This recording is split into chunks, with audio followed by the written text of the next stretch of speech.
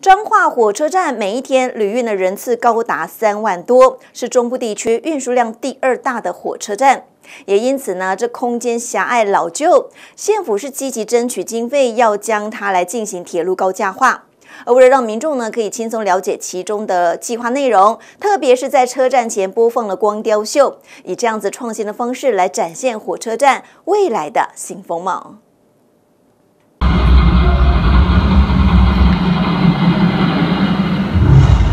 车站上头一幕幕的影片，让不少旅客留下脚步来观看。而这不是在台北，也不是台中，是在彰化火车站。位于彰化市的彰化火车站，每日上下车人数高达三万多人，更是中部地区运输量第二大的火车站。车站空间狭隘老旧，县政府积极争取经费下，将要来进行铁路高架化，也特别创新，在车站前播放光雕秀，来展现火车站未来的新风貌。这是首次在我们彰化火车站办理这种。光雕艺术的一一个活动，我每天上车人数上下车总共有三万人，人潮很多，看得出来我们的这个环境太小了，货车的空间太小了啊，所所以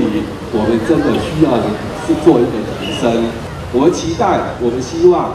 很快的会一一来实现。我们共同来努力。铁路高架化是彰化乡亲引颈期盼下的重大建设，终于在今年裁定将铁路四轨高架化，并利用光雕秀的艺术响应，从蒸汽火车到现代火车高速化过来，带出时代变迁，也将未来展望呈现在上头。就是透过这样的光雕光雕秀，能够看到我们彰化的这个过去、现在跟未来，来比来中化。铁路高架是我们引颈期盼的这个重大建设。那未来我们彰化要大起飞，就要透过我们彰化的铁路高架。啊，从十月十四号连续三十天，在我们彰化市的火车站，啊，来播放彰化艺光雕艺术的响宴。我们回顾过去彰化火车站的历史，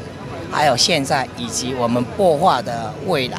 那我们要把前站跟后站的一些商圈、住宅，还有以及都跟一并来作为规划。彰化艺光雕秀从十月十四日起至十一月十二日止，为期三十天的时间，每个晚上都会进行半小时放映一次，更搭配光影互动游戏及赠送纪念品，提供民众游玩。县长魏明谷也邀请大家一同到火车站来欣赏光雕秀，看见彰化新未来。记者林顺彰化现场报道。